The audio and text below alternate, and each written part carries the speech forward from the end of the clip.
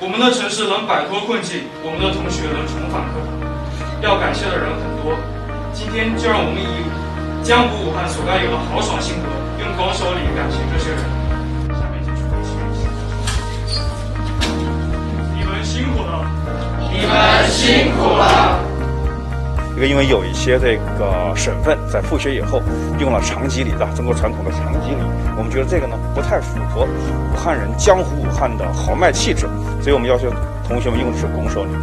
那我们用拱手礼感谢过了应该感谢的医护人员、志愿者、我们的父母老师之外，我们同学们相互致一个拱手礼，感谢我们的同学能够安然度过疫情，回到我们的身边。陪伴我们一起努力，我们用这个拱手礼鼓励我们自己，